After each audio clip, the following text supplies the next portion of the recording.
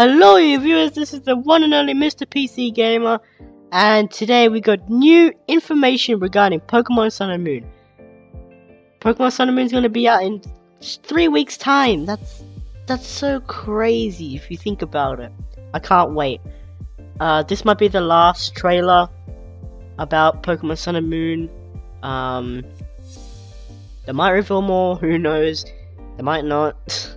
But uh, yeah, we got the three starters, one new Pokemon, one new Alola form, and the Tapu line. So let's begin with Decidueye, which is the Arrow Quill Pokemon, Grass and Ghost type, which has Overgrow. Uh, like I said, um, I will probably have to uh, mute the mic a couple times because I am sick. So if you hear me coughing, I apologize for that. So just one minute. So yeah, this is Decidueye. It has a um, it's got a new move that's only exclusive to Decidueye, which is Spirit Shackle. Um, is a ghost type physical move that only Decidueye can learn. An opponent hit with this move will become unable to flee from battle or switch out for an ally. So it's sort of like uh, a scary face where you can't switch out or um, flee the battle um, this would be really good for catching Pokemon, like, for example, Wimpod, because I know that has an ability called Wimp Out where it uh, flees from the battle. So if you have a Decidueye, or um, you know, you might be able to catch it like without running away. But hopefully, like, um, in like level 36, Decidueye will evolve. Well, uh, Dartrix evolve into Decidueye at level 36, maybe.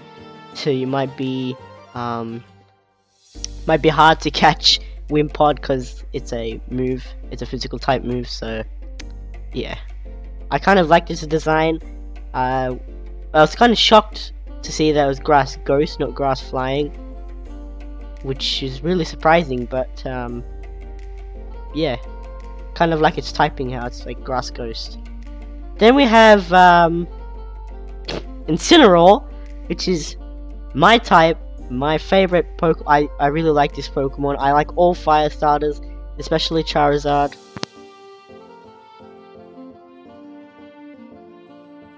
And Typhlosion, Infernape. Just every fire starter is like I really, really, really like. Um, Incineroar is the Heel Pokemon. Fire Dark, which, to my knowledge, we never had a Fire Dark starter. We had, for the past three generations, we always had firefighting. So, um, being Fire Dark was pretty good. Everyone was, you know, kind of scared there was going to be another firefighting type, but seeing Fire Dark is, is pretty good. Um, it has a signature move, Darkest Lariat, Lariat, I think, um, is a dark type physical move that only Incineroar can learn. It and it allows Incineroar to deal damage while ignoring the effect of any stat that the target might otherwise be affected by. So I'm pretty sure that means uh, if like opponent uses a growl, the attack will go down, but Darkest uh, Lariat will stop it. So the uh, stat will just be to normal. I think that's what it means. I'm not entirely sure. Um, I love this Pokemon. It is really, really good. I, it's, it's so amazing. Um, I will be doing a hype video, like I did with Omega Ruby and Alpha Sapphire, uh, probably next week, maybe yeah, sometime next week. Maybe Tuesday. Hopefully. If I can. Um, or Wednesday. Or Friday. it depends. But yeah. So moving on. Uh, Primaria? Primarina? Pr Primarina. Yes, there you go. Primarina. Um, it's the Solist so soloist Pokemon Water Fairy, which I love. I don't remember off the top of my head if there was ever a Water Fairy type. Um, I'm just trying to think. I don't think so. Water Fairy, I think is the first type I... No! Azumarill and uh, Marill. Wow. Um...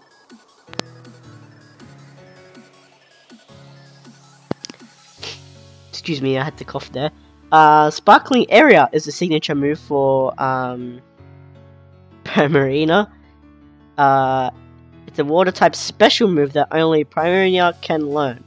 And it heals the burns of targeted strikes, which is, to me, that's pointless. Like, why would you have a, a move that can, like, stop it being burnt? I mean, maybe if, um, you wanted you wanted to catch it and you said okay you know I'm gonna burn it for a few turns then use um, sparkling aria to like lower its um, HP and then catch it. But I I don't know. But um yeah this this Pokemon's pretty cool I liked the design. I really like the design. It looks unique. Looks really unique and, and fascinating. It's it's got like that type of sparkle you know? It's it's so pretty cool. Um, yeah, so now we've got the Tapu line, which is Tapu Bulu, which is the Land Spirit Pokemon and Grass Fairy with um, Grassy Surge. So pretty much you can have Grassy terrain up immediately um, when the when uh, Tapu Bulu enters the field. Um, I like this design. It kind of resembles a uh, a bull but like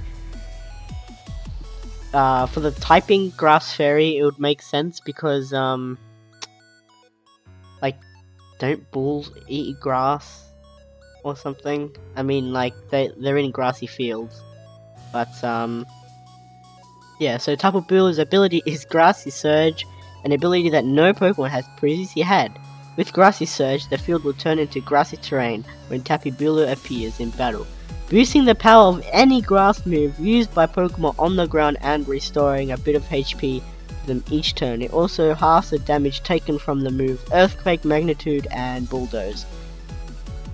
That's pretty cool. Um, I'm pretty sure Grassy Terrain was in back in Gen 6. I know Electric Terrain and uh, Fairy Terrain was in Gen 6, but I'm pretty sure Grassy Terrain, uh, Grassy Terrain was there too. Um, moving on to Tapu Lele, which is I kind of I like Tapu Lele out of probably the ones that were revealed so far, like Tapu Koko, Electric Fairy, that's pretty cool. Um, but Tapu Lele is probably like my favorite. Psychic Fairy. Anyway, sorry about that. I someone was knocking on my door. Um, and I just forgot that I forgot I forgot to press stop, so probably have to edit that out. Um, it's a Psychic Fairy type Tapu Lele, and it's got a new ability, Psychic Surge, which has, which is a new move. Psychic, um, nature's no, Psychic Surge. That's the ability. Sorry, guys. Psychic Surge is the ability, and Psychic Terrain is the move. Um, when obviously Tapu Lele appears in battle, um, Psychic Surge, Psychic Terrain happens, um, boosting the power of any psychic move used by Pokemon on the ground and preventing them from being hit by priority moves. So, it looks like Sun and Moon is kind of stopping priority moves. We've got Bruxish that stops priority move. We've got, uh, is it, uh, Tsareena? Tsareena is, uh, has an ability that can stop a priority move, so a few um, abilities and uh, moves that stop priority moves, which is good in a way, because then it makes the meta more interesting and stuff. So if you forget, like Bruxish, you have Bruxish, and you say, "Oh, I forgot," you know, that Bruxish had this the ability. So yeah, that's pretty cool.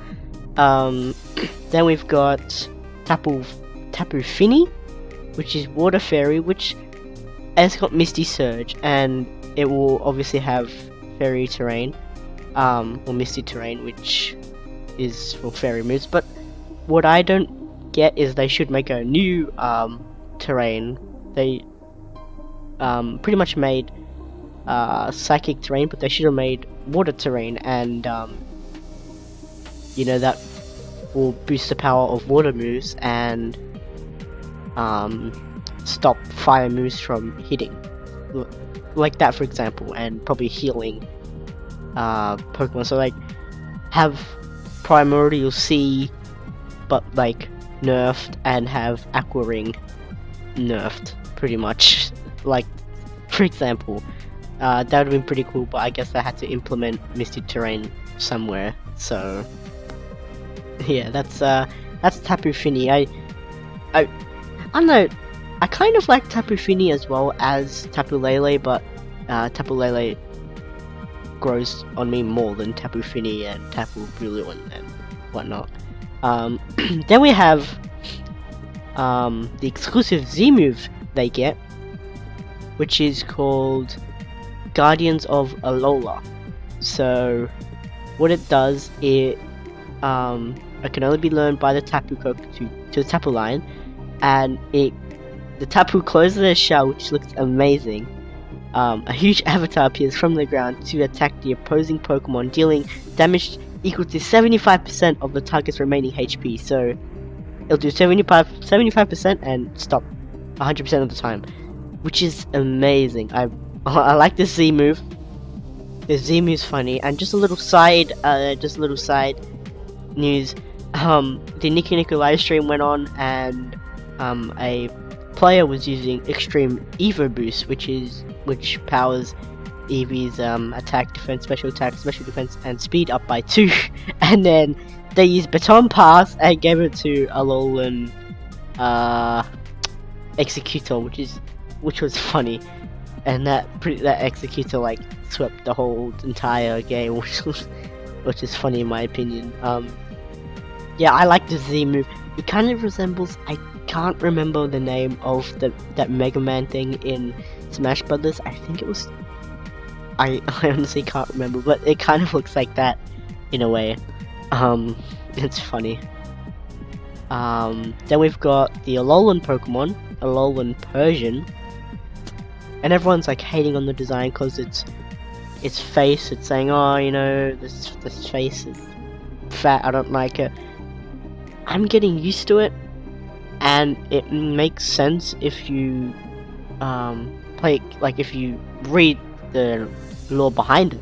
So the round face of Alolan Persian is a symbol of a rich of the rich Alolan region. So pretty much, eh, like it's saying that you know how rich the Alolan region is. That Persian has a round face. So and it's going back to Alolan Meowth, how it's um, you know bred by rich people. So um, yeah, that like that secret, that law behind it is kind of interesting. Um, it's dark type, so super effective against fighting, which is eh. I mean, normal dark isn't. I wouldn't like normal dark. Dark type would have just been okay, because then it would have been four times super effective to fighting. So, yeah. But like like I said, the design looks really really good. Then we have Cosmog, which is the Nebula Pokemon, and Psychic, and it's got the ability Unaware, which, if you guys don't know, Unaware, it's um makes it's uh, makes the opposing Pokemon too nervous to eat berries. So, yeah, I mean, not a not a good ability kind of useless. but um, this extremely rare Pokemon is known to only to only a select few in Alola at one time. It was known by the kings of Alola, their heirs, and it was called the Child of the Stars. The Aether Foundation is researching the unusual Pokemon, and one of the professors at the foundation recently dubbed it Cosmog. Cosmog is very curious and shows no fear of people or Pokemon. If you treat it with any consideration at all, it will take an immediate liking to you. The personality trait of Lee often leads it into danger. Its gaseous body is so lightweight that it's sent flying when the wind blows. When light falls on its Pokemon, Cosmog absorbs and it grows. So, this Pokemon there's been a few, um, the demo's been dead in mind, and I don't want to go too much, I don't want to spoil it uh, for you guys, but if you don't want to listen, click away, I might have annotation somewhere, but, um, we've got this Pokemon, Cosmog, and then another Pokemon, kind of hinting that it might evolve to Solgaleo and Lunala, so it will be weird how how Cosmog and this other like little pre-evolution Pokemon ties into the story, but um, we'll see how it goes. So, if you watch the Japanese trailer, we saw Lillie having Cosmog, Cosmog, so it kind of hints that Cosmog is in her bag because you have to save Cosmog from the Spearows. So um, yeah, that's pretty cool. I am hyped for this. The Battle Tree, where strong opponents await. So this is kind of like the Battle Maison, but the Battle Tree. Now, if you listen closely, guys, and if you've seen the trailer, once I saw this trailer, I was literally, I was hyped, like, straight away. Even, like, as soon as they announced Pokemon Sun and Moon, uh, February edition, I was instantly hyped, and now I'm even more hyped. Somewhere in the Alola region, you'll find a battle tree, a place where those trainers who have completed the island cha challenge or who are strong enough to have done so battle one another. All of the trainers you can encounter at the battle tree are strong. It seems you might even encounter two battle prodigies from the Kanto region. So we'll be seeing red and blue. Or red and green depending on where you are. But this is this is so amazing, guys. Like, like I said before, this is gonna be hype. You can encounter previous uh, people, so like Cynthia, for example, uh, Wally as well, um, from the Hoenn region, Cynthia from the Sinnoh region, and it might be hinting that Red will have um, Mega Charizard or Mega Blastoise or just just a Mega on his team because you can see a bracelet that he has. Obviously, it's probably not like if anyone sees the bracelet, bracelet you can't say, oh yep, Mega straight away or Z move straight away. But I'm just guessing that he'll probably have Mega Evolution similar to Gary. Gary might have Mega Alakazam or something like that. But um, yeah. So at the battle tree, you can scout a scout an opponent you've won against, so they can partner with your future battles. You may even be able to scout some familiar faces. So, for example, like the Battle Maison back in ORAS, you can um, team up with Maxie and Archie, your rival, and Wally, um, for like like just like a multi battle, and you can do this with um, Cynthia and Wally as well. I'm hopefully they do it with Red red and blue, that would be so amazing. Being like having red on your team. Oh my god. That'd be cool. Then we've got the Pokemon League, which is interesting. Um, I'm pretty sure the um the Chinese league said that there will be a Pokemon League. Like you have to kind of uh you become the champion and stuff. So let's let's take a read in the regions that have served as the setting of your adventure in the Pokemon series so far, the ultimate stage for battle has always been a place called the Pokemon League. The Pokemon League is where the Elite Four Pokemon trainers with powerful Pokemon partners and the champion who were who regions as the top of all trainers await challenges. A challenger who defeats the Elite Four and champion will be hail hailed as the new champion of the Pokemon League. In the Alola region, the setting of the Pokemon Sun and Moon, Pokemon Sun and Pokemon Moon, there is no Pokemon League yet. But it seems that there are plans to construct one at the peak of a certain mountain after the growth of you achieved through your completing the island challenges. Will the day come when you also take on the Pokemon League to become the strongest Pokemon trainer? We'll find out. So, pretty much, um, I guess what they're trying to say is like, Pokemon, um, like if you complete the island island challenges and um, you know just continue progressing through the story, you might eventually um, get through the Pokemon League, or maybe there might be DLC, or maybe an update. Who knows? But hopefully they don't do that. Hopefully that's not the case where there'll be DLC um, and go to the Pokemon League. I'll kind of like that to be in the game, not as a DLC. That wouldn't be. Mm, I mean, I wouldn't mind, but at the same time, it'd just be a bit too weird, I guess. Somehow, I, I just. I don't know. Um, but that's it, guys. Hope you enjoyed my news information update. Hopefully, we get more news um, regarding Pokemon. This might be the last trailer, uh, like, because we've, we've got like three weeks left. So, who knows? Hopefully, I'd kind of like to see more trailers, but then at the same time, I hopefully don't want to see more trailers. But we'll see. We'll see how we go. So, hope you liked this video. If you did, comment down below the question of the day, and it's do you like the three stars evolutions? Because I am. I really like it. Um, subscribe. Try and quick attack that like button. Let's try and get at least at least five likes. I know my channel isn't that big. Let's try and get up to five likes. So I'll see you guys next time.